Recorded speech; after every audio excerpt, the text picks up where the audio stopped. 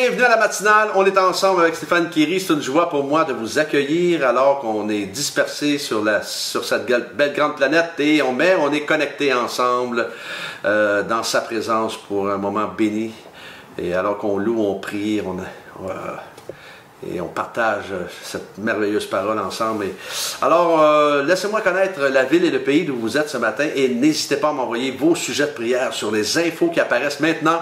Au bas de l'écran, on démarre cette matinale avec ce merveilleux chant qui s'intitule Apologie du groupe NV Worship composé par Julien Adam et Mylène Kerry. Alors, on y va ensemble. J'ai vu Dieu secourir l'âme assoiffée. Son amour inonder le désert. Ne me dites pas que ses bontés sont épuisées. Ses merveilles remplissent l'univers. J'ai vu Dieu délivrer le condamné, l'accueillir ses bras grands ouverts. Ne me dites pas que son pardon est limité. Le salut en lui nous est offert. Jésus-Christ,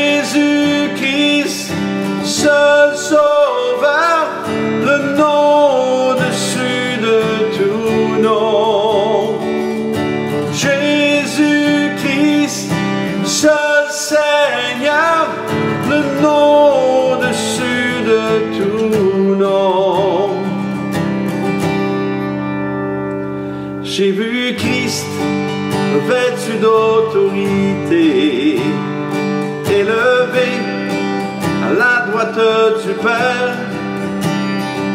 Ne me dites pas que la mort pouvait triompher, sa puissance à terrasser l'enfer. Oh oui, j'ai vu Christ rassembler ses rachetés, les témoins de sa lumière.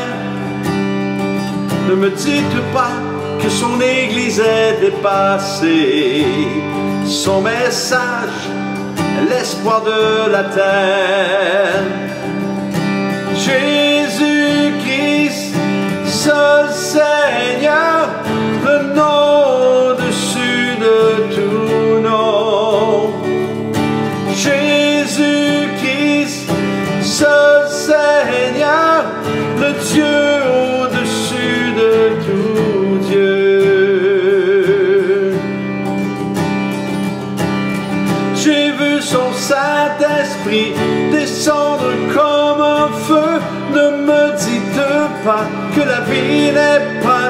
ce lieu. J'ai vu son Saint-Esprit agir devant mes yeux. Ne me dites pas, vie n'est pas dans ce lieu. J'ai vu son Saint-Esprit descendre comme un feu. Ne me dites pas que la vie n'est pas dans ce lieu. J'ai vu son Saint-Esprit descendre devant mes yeux. Ne me dites pas Jésus n'est pas dans ce lieu. Ne me dites pas, ne me dites pas que Jésus n'est pas dans ce lieu.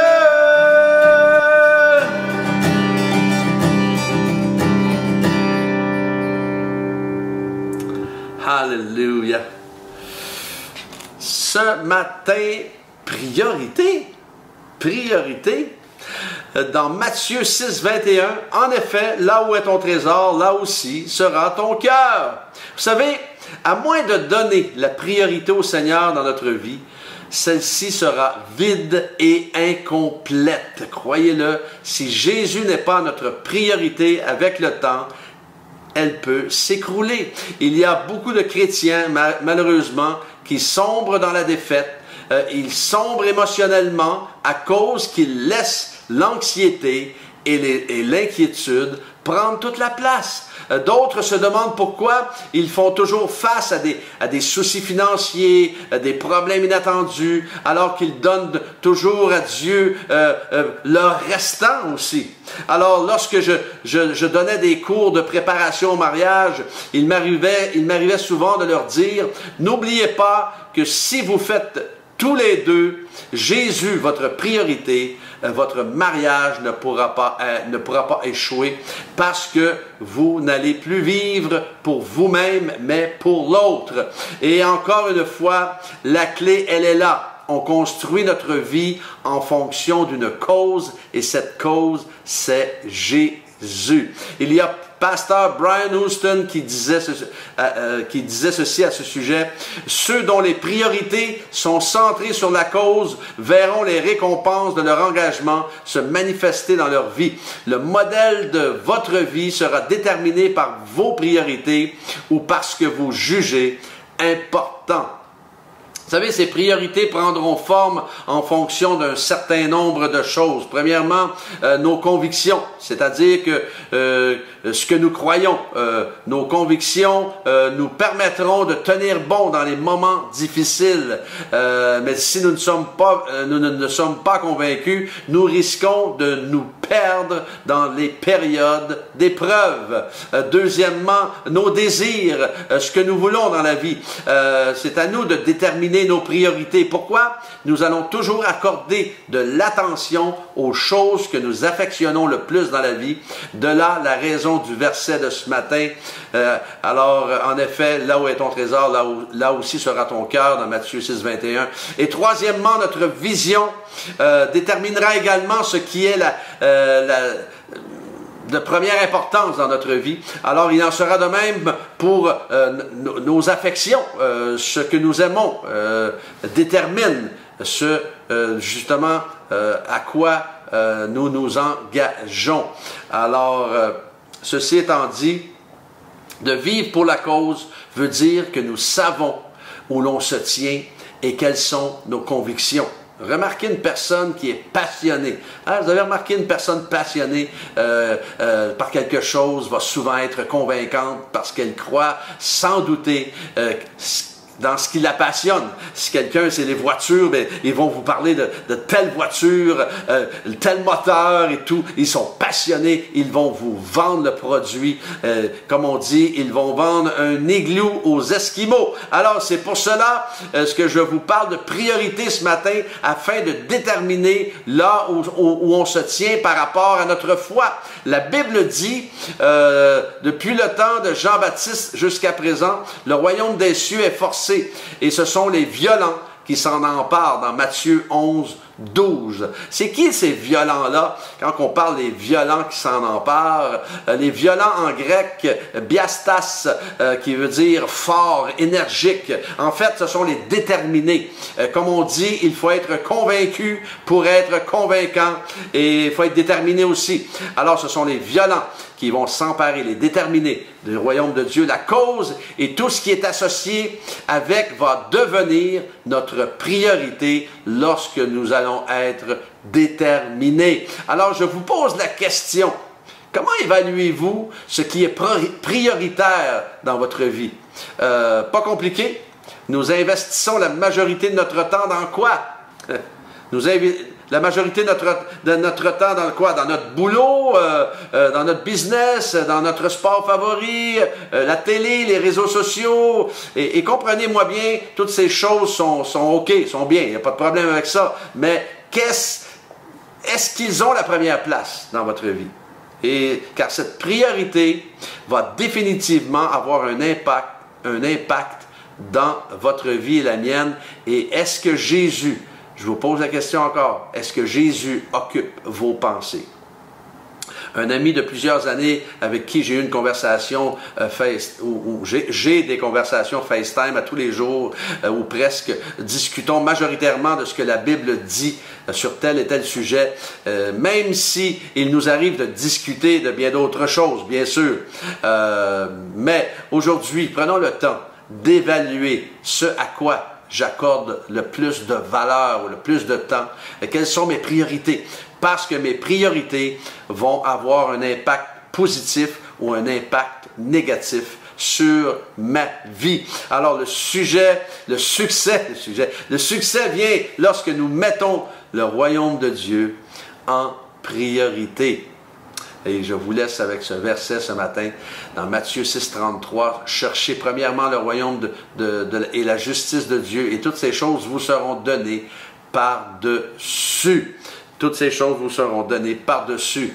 Alors, quelles sont, quelles sont vos priorités ce matin? Hallelujah. Nous, on, va prier ce matin pour euh, euh, quelques euh, requêtes.